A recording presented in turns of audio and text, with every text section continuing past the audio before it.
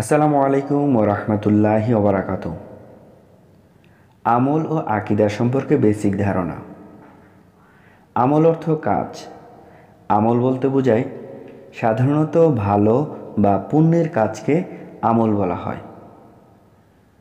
কয়েক প্রকারের আমল হল ইবাদত মোয়ামালাত বা লেনদেন মোয়াশারাত বা আচার আচরণ, রাষ্ট্রনীতি অর্থনীতি, দাওয়াত, জিহাদ। ইবাদত চার প্রকার। নামাজ, রোজা, হজ জাকাত আকিদা। ইসলামের আকিদা হচ্ছে তাওহিদ বা একত্ববাদ। সার্বভৌমত্বের মালিক একমাত্র আল্লাহ তাআলা।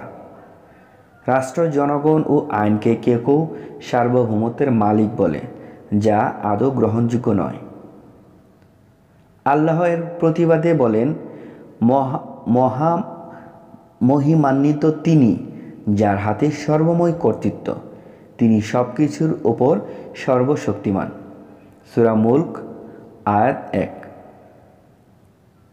বিশ্ব পরিচালনায় ও সৃষ্টিতে কারও অংশীদারত্বে নেই। যিনি আসমান ও জমিনে রাজত্বের মালিক, তিনি কোনো সন্তান গ্রহণ করেননি এবং তার রাজত্বে কোনো শরিকানা নেই। তিনি প্রত্যেক বস্তু সৃষ্টি করেছেন, অতপর তাকে সঠিকভাবে পরিমিত করেছেন। সুরাফুরকান আয়াত দুই। আল্লাহ ছাড়া কেউ উপকার ও অপকার করতে পারবে না। তিনি যদি তোমাকে কোনো ক্ষতির মধ্যে নিক্ষেপ করেন, তাহলে তিনি ছাড়া কেউ তা দূর করতে পারবে না। আর যদি তিনি তোমার কল্যাণের ইচ্ছা করেন, কেউ তা প্রত্যাহার করতে পারবে না।